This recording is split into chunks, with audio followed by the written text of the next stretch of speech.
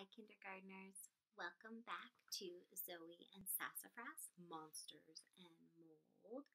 We are going to pick up where we left off. So, if you remember so far, a new magical creature had come to the barn and rang the magic doorbell, and his name was Gorp. He was a big orange monster, and his problem was moldy fur. Now, Zoey thinks she has an easy solution. We're going to start with chapter four an easy fix. Let's see if it really is an easy fix. Mold grows quickly when things are damp and warm, I explained to Gorp. When you get back to your cave, your fur must still be a little damp, and then you go to sleep in your warm cave. It's the perfect way to grow mold. He looked worried. You mean the problem is my warm cave? I don't want to sleep outside in the cold. I patted his arm. I think if we take care of the damp fur, you'll be fine sleeping in your warm cave. You can borrow one of our towels. Use it to get your fur completely dry. And just to be extra safe, take your bath earlier in the day so your fur is super dry by the time you get to your warm cave. That should stop the mold from growing. I wrote in my journal solution. One, Gorp will take bath early in day. Two, Gorp will use a towel to get very dry. I touched the page I was writing on. I kind of wanted to add a photo of Gorp to my journal entry. My mom had given me an instant film camera, and I was allowed to take one photo of each magical creature I helped. But I was nervous to ask him since we just met. Anyway, his problem had been so easy to solve. I closed my science journal. I'll be right back, I announced. I ran inside and returned with a towel for Gorp. He picked it up between two fingers and peered at it. Oh, right. A monster wouldn't actually know what a towel was. Here, you use it like this, I said as I pretended to dry myself. Gorp watched closely and then smiled and took the towel. Thank you for your help, small human. I'm very excited to be able to go to the monster ball. No problem. And my name is Zoey and this is Sassafras. We hope you have fun at the dance. Well, that was easy. I waved goodbye and Gorp disappeared into the forest. As I turned back to the house, I heard my mom's car coming up the driveway. Sassafras and I hurried to meet her. Mom, I solved a problem all by myself. There was a monster and Sassafras loved him, but the monster was covered in mold. We were super careful not to touch him since I know some molds are dangerous. Anyways, I figured out his fur was molding because he was going to bed in his warm cave with wet fur. It's just like my bread experiments. See, all he needs to do is bathe earlier, use the towel to completely dry his fur, and by the time he goes to bed, he should be very dry and not have any more mold problems. Oh, and I gave him one of our towels to use. There's Zoey and her mom. I hope that's okay. Phew! Sounds like quite the afternoon adventure, Mom said. She put her arm around me, and we walked into the house. I wonder why Sassafras loved him so much. Oh, you should have seen it, Mom. Sassafras was desperate to love him. He even tried to jump into Gorp's arms. Gorp was terrified. I don't think monsters see many cats. Mom nodded thoughtfully. No, I don't imagine they do. Poor Gorp. Monsters take such pride in being clean. Having moldy fur must be hard on him. Yeah, he seemed really worried about what the other monsters thought of him. He said he's always stayed home from the monster ball because of it. Oh, that's a shame. I've heard such wonderful stories about the monster ball. Sounds like so much fun. I hope he'll feel brave enough to go this year. Sounds like you did some good work. I just knew I'd solved Gorp's problem, especially after talking to my mom. I was so sure that I flipped my science journal to a new entry and began to daydream about what sort of magical animal we'll meet next. Chapter 5 He's back. I was in the barn trying to think of a new experiment to run with the last few pieces of bread when the doorbell rang. I jumped to my feet so quickly my thinking goggles tumbled off. I grabbed them and ran. Sassafras practically danced over to the back door.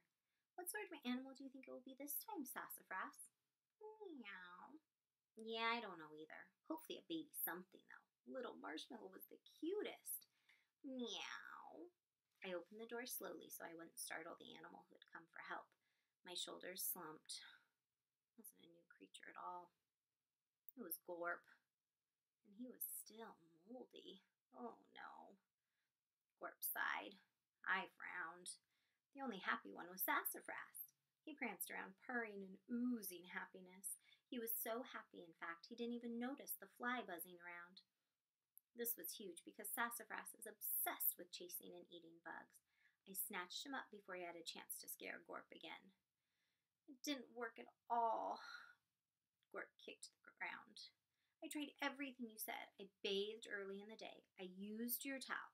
I made extra sure that my fur was dry before I went to sleep. But I am still moldy. He looked like he was about to cry. Then the fly circled around Gorp's head. He tried to swat it away, but it wouldn't leave. I'm so gross that this fly won't even leave me alone, he wailed. Gorp, please don't cry. Don't give up yet. The first thing we tried didn't work. But That doesn't mean we can't solve your problem. We've just got to try something else. But what? cried Gorp. Nothing will fix my moldy fur. I'll be covered in mold forever and ever. I'll never get to go to the dance. Never. Sassafras wrestled out of my arms and ran up to Gorp. Sassafras's snuggles always made me feel better when I'm crying. But Gorp saw him coming and backed up. I managed to grab Sassafras. Stay, I instructed. He gave me a stinky look, but sat down by.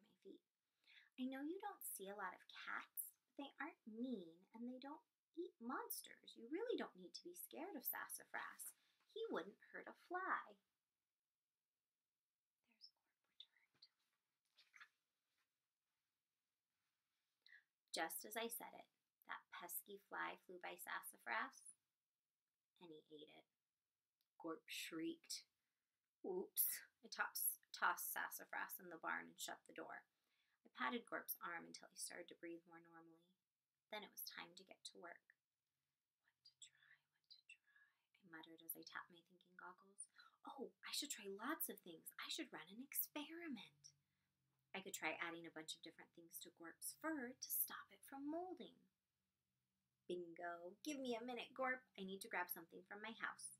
I held onto my goggles and dashed into the house to grab some Ziploc bags and scissors. Wasn't sure what to try on Gorp's fur yet, but I knew I'd need several fur samples to get started. When I returned to the barn, I didn't see Gorp anywhere. And there's Sassafras eating the bug. Oh no. Gorp! Gorp! Are you here? Where did you go? The trees rustled and I heard someone breathing hard. I looked up, and Gorp peered down at me. Your cat was scratching at the barn door with his ferocious claws. He was trying to get out so he could eat me while you were gone. It was safer to wait in a tree. Is it okay to come down? Did he break through the door? No, he's still in the barn. I promise I'll protect you if you come down. Gorp slowly climbed to the ground. What are those bags for? I'm going to find something we can put on your fur that will stop the mold from growing.